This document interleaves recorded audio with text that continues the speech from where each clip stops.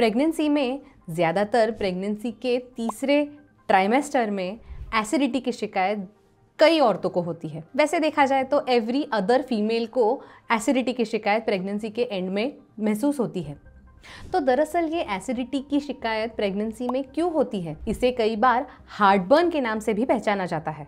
ये heartburn acidity pregnancy में and में क्यों महसूस होता है, इसके बारे में इस वीडियो में मैं, यानी कि डॉक्टर पल्लवी मेहता, आपको डिटेल जानकारी देना चाहूँगी। एसिडिटी या एसिड रिफ्लक्स दरअसल हमारे ईसोफेगस के लोअर स्फिंक्टर के सही तरीके से बंद ना होने की वजह से महसूस होता है। हमारी जो अन्न नलिका होती है, यानी कि ईसोफेगस होता है, उसमें नीचे की तरफ़ एक स्पिंक्टर होता है, यानी कि एक लॉक जैसा होता है।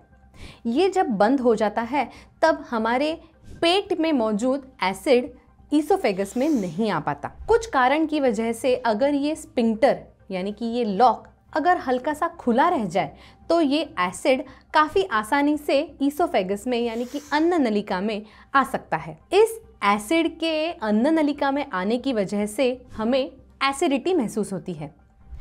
ये स्पिंक्टर हमारे हार्ट के एग्जैक्टली exactly पीछे की तरफ़ होता है।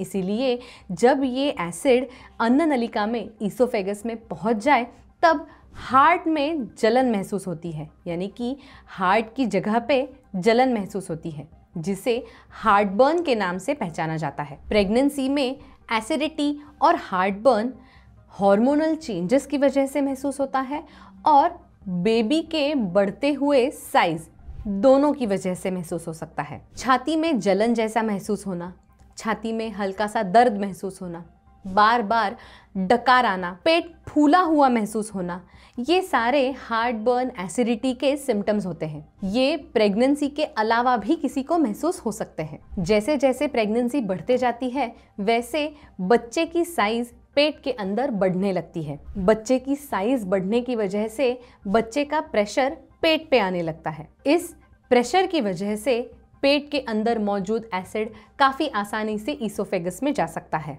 इस ही आसानी की वजह से एसिड ईसोफेगस में पहुँच जाता है और औरतों को हार्ट बर्न की शिकायत होने लगती है। प्रेगनेंसी में हार्मोनल चेंजेस बहुत ज़्यादा हो जाते हैं।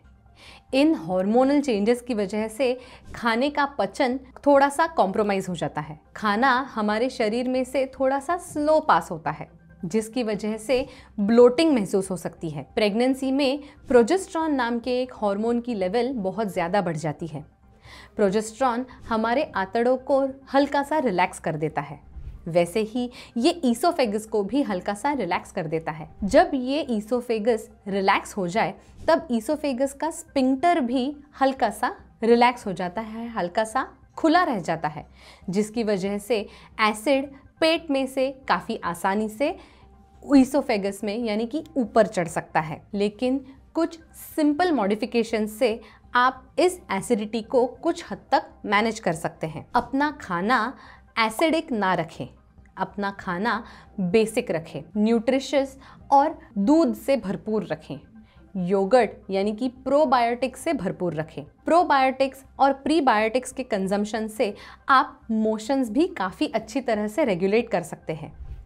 प्रेगनेंसी में कॉन्स्टिपेशन की शिकायत भी ज़्यादा हो सकती है। अगर आपको कॉन्स्टिपेशन के बारे में ज़्यादा जानकारी चाहिए हो प्रेगनेंसी में होने वाले कॉन्स्टिपेशन के बारे में ज़्यादा जानकारी चाहिए हो तो हमारा कॉन्स्टिपेशन इन प्रेगनेंसी का वीडियो ज़रूर देखें।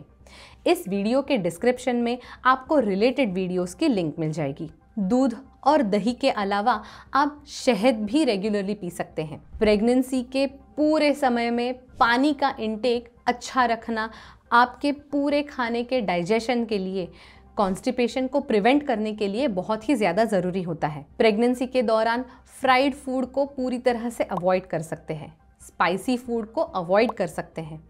इन दोनों फ़ूड की वजह से हार्ट बर्न होना एसिडिटी होने की संभावना ज़्यादा हो सकती है। खाना एक ही साथ, बहुत ज़्यादा खाना खाने के अलावा छोटे छोटे पार्ट्स में, छोटी क्वांटिटीज़ में खाना खाएँ।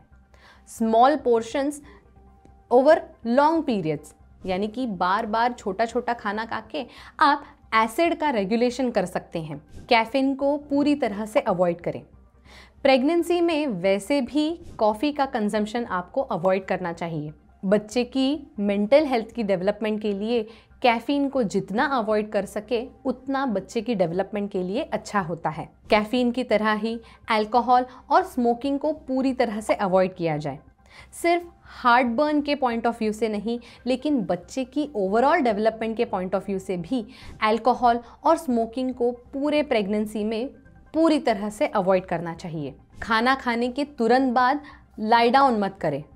खाना खाने के तुरंत बाद हल्का सा वॉक लेने की कोशिश करें।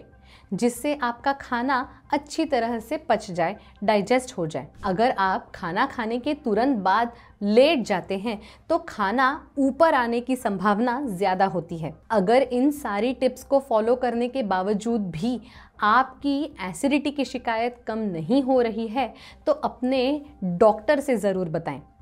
आपको प्रेगनेंसी में किस प्रकार की एंटासिड्स को कंज्यूम करना चाहिए, कौन सी एंटासिड्स को अवॉइड करना चाहिए, उसके बारे में आपके डॉक्टर आपको जानकारी सही तरीके से दे सकते हैं। ओवर द काउंटर मेडिकेशंस का कंज्यूम कंजम्पशन पूरी तरह से अवॉइड करें। Thank you